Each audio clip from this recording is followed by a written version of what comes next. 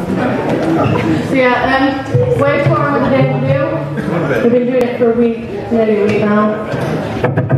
Been awesome. Doing six. This song is called Teenagers.